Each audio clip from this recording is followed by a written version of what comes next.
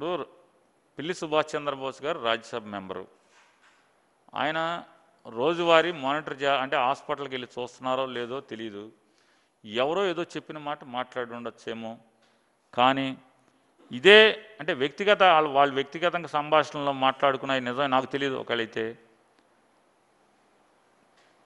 మీ రాష్ట్ర పార్టీ అధ్యక్షుడు అచ్చెన్నాయుడు గారు పార్టీ లేదు తొక్క లేదు బొక్క లేదు ఈ లోకేష్ గారి మూలన ఈ పార్టీ అంతా సచ్చింది. రేపు పదిహేడు తర్వాత అసలు మన పార్టీ పార్టీ లేదు గీర్తి లేదు అంత జాంతర అయిపోయింది ఆ పార్టీ పరిస్థితి సాఫ్ సర్దుకోవటం అని చెప్పని అచ్చెన్నాయుడు గారు మాట్లాడింది.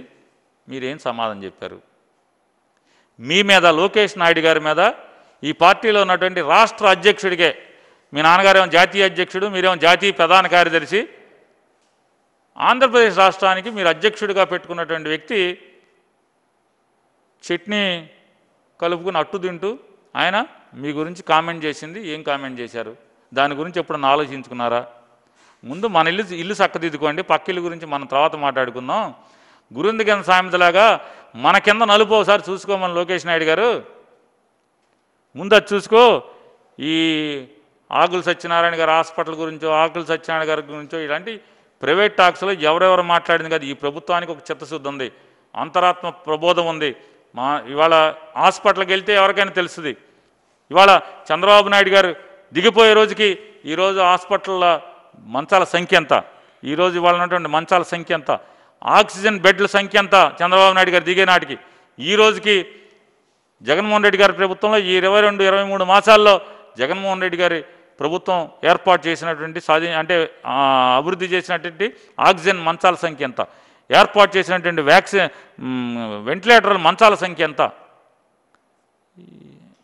అది మనం పనితీరు పోల్చుకోవాలి. గడిచిన ఇరవై రెండు ఇరవై మూడు మాసాల్లో ఎంత వైద్య రంగం మీద ఎంత ప్రత్యేకమైన దృష్టి పెట్టాం? డాక్టర్ల రిక్రూట్మెంట్ మీద ఎంత ప్రత్యేకమైన దృష్టి పెట్టాం?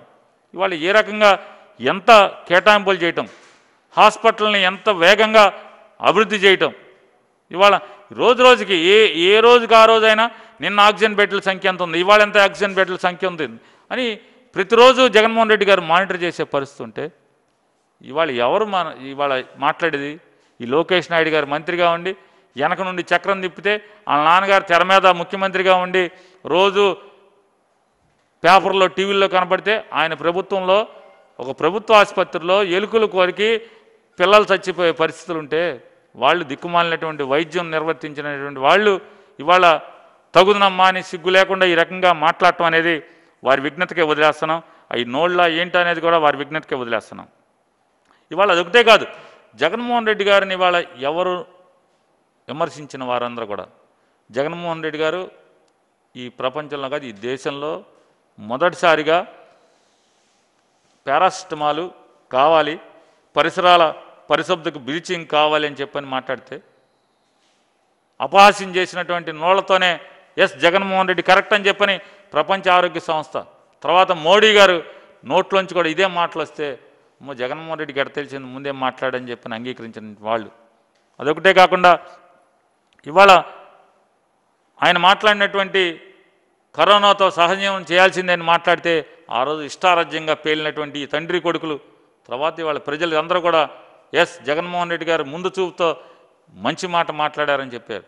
కాబట్టి మనకు అర్థమవుతున్నది ఒకటే ప్రజలకు అర్థమవుతున్నది ఒకటే. ఎస్ జగన్మోహన్ రెడ్డి గారు అందరికంటే ముందు చూపుగా ఈ వ్యాధిని అరికట్టడంలో కానీ ఈ వ్యాధిని జయించడానికి కానీ ముందు ఆలోచన చేయగలిగే సామర్థ్యం ఉంది. అతనికి ముందు చూపు ఉందని చెప్పని ప్రజలు నమ్ముతున్నారు విశ్వసిస్తున్నారు కాబట్టే ఇవాళ ప్రజలు మీరు ఎన్ని చెడు మాటలు చెప్పినా ఎన్ని తప్పుడు ప్రచారాలు చేసినా ఎన్ని దొంగ లెక్కలు మీడియాతో రాయించినా మాట్లాడినా ప్రజలు మిమ్మల్ని విశ్వాసంలో తీసుకునే పరిస్థితులు లేరనేది తండ్రి కొడుకులకి ఇద్దరికి కూడా చెప్తున్నాం.